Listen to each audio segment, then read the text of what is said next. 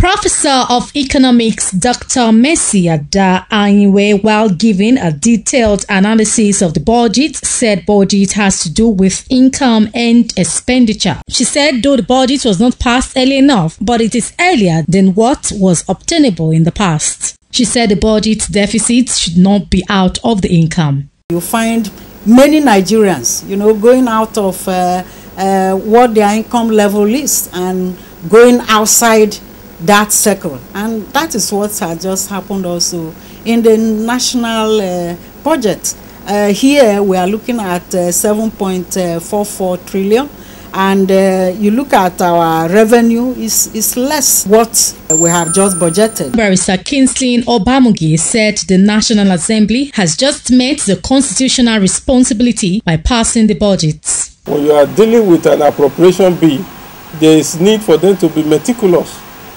in the discharge of their duty. It's not all can be rushed within a short period of time. However, Barrister Venseri Otame stressed the need for proper monitoring of the budget to ensure strict implementation. Why should it overstay in the National Assembly? For what purpose? I mean, was it the interest of the country? We are getting almost to the middle of the year uh, where the budget uh, ought to be utilized. The 2017 budget, after due consideration, was reviewed upwards. Adesuwa Lato reporting.